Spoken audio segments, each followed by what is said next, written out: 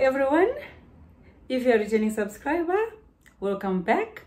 If you're new, welcome to my channel. My name is Dr. Shungu Mupfawa. Guys, if you haven't subscribed, please do so. We want to create a community here. Matrics, I haven't forgotten you. In today's video, I am going to be helping you in terms of how to use the life sciences examination guidelines with regard to paper one. The examination guidelines are an essential tool that you need throughout your grade 12 academic journey. It is important because it outlines the examiner's expectations and provides descriptions of biological processes which you can write as they are when you are asked to describe these processes.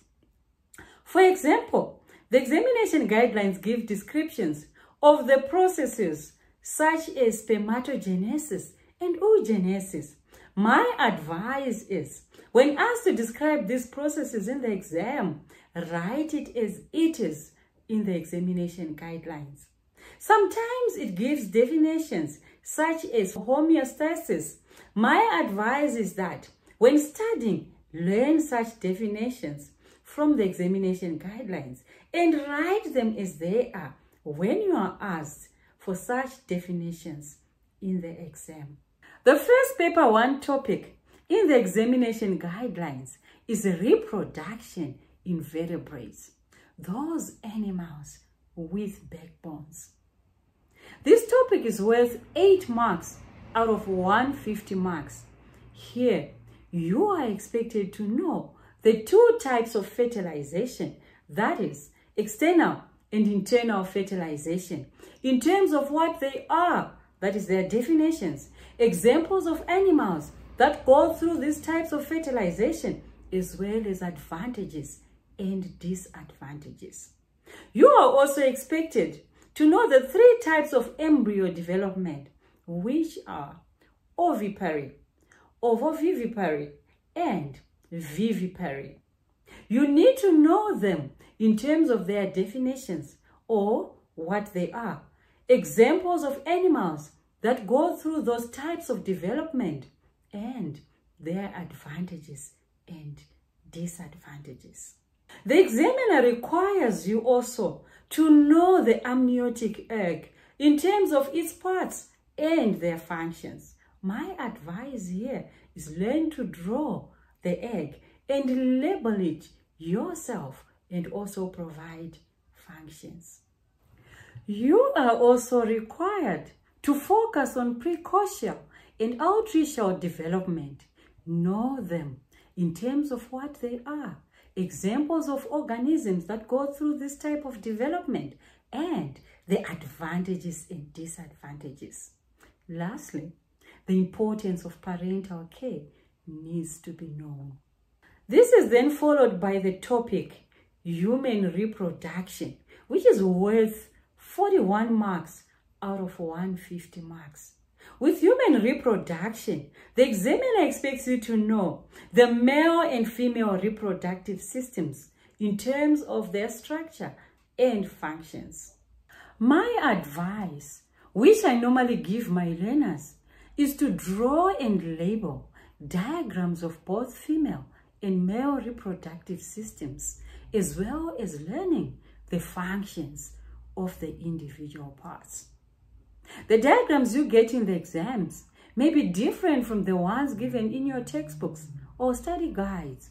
So, if you learn to draw your own diagram, you will be interacting with it on a deeper level, such that you'll be able to deal with any strange diagram that will be provided in the exam.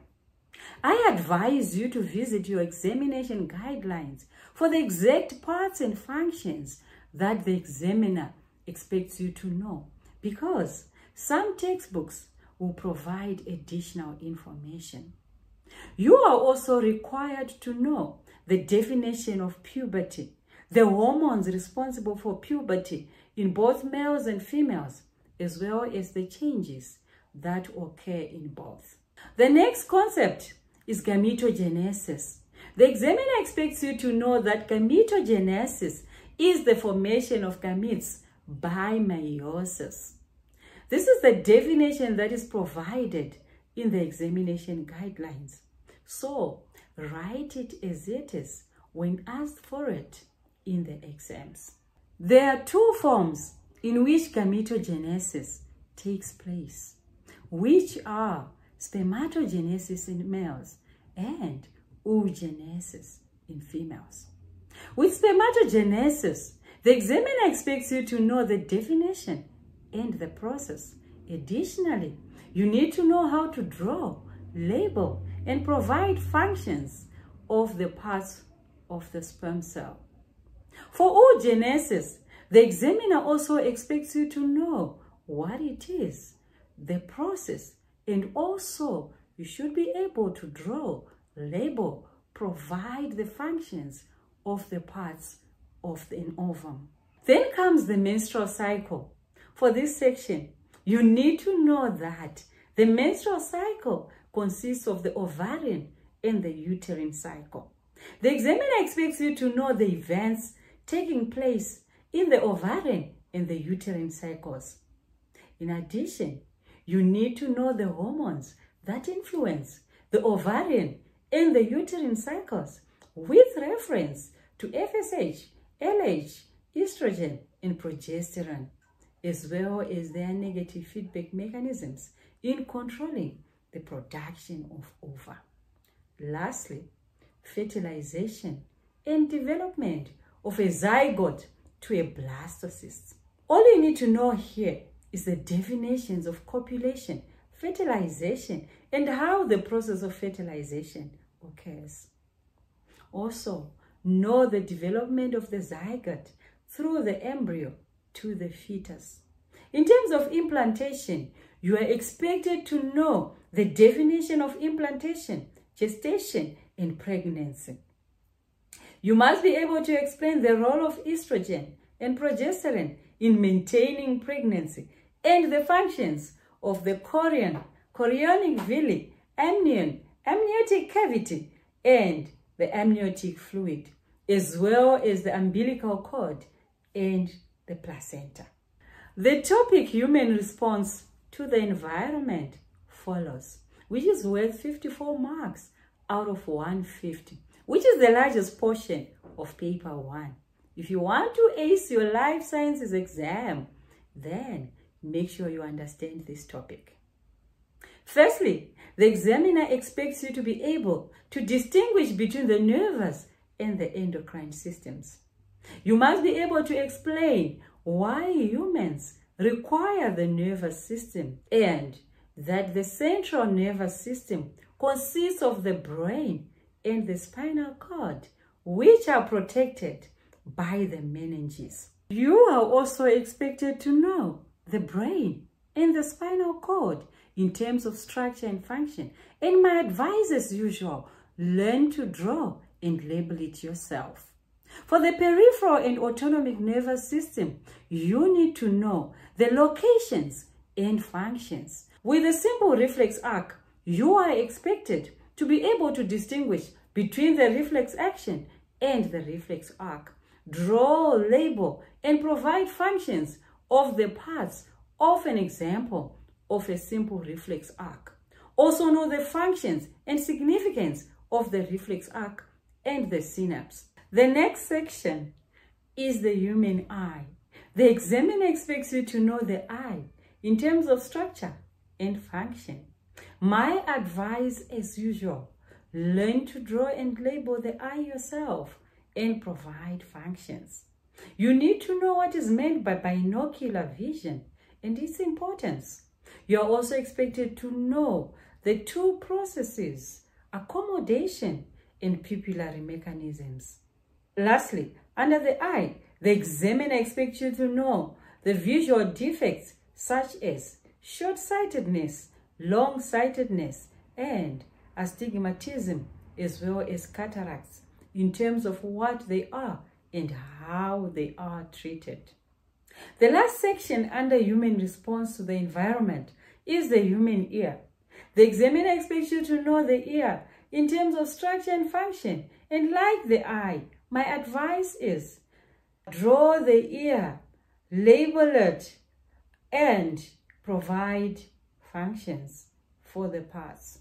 The examiner expects you to be able to explain how the ear plays a role in hearing and maintaining balance. Finally, with the hearing defects, you are expected to know the causes and treatments of middle ear infections as well as deafness.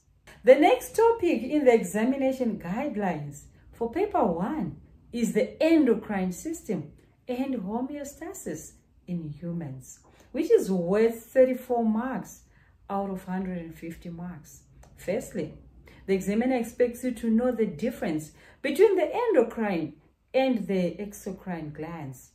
You also need to be able to define the term hormone. With the endocrine system, you are expected to know each gland in terms of location, the hormone it secretes, the function of that hormone, and the target organ of that hormone. When it comes to the endocrine system, I usually ask my learners to draw a table of five columns headed, gland, location, hormone secreted, function, and target organ. And they use it to summarize what they're required to know in this section. The next section is homeostasis.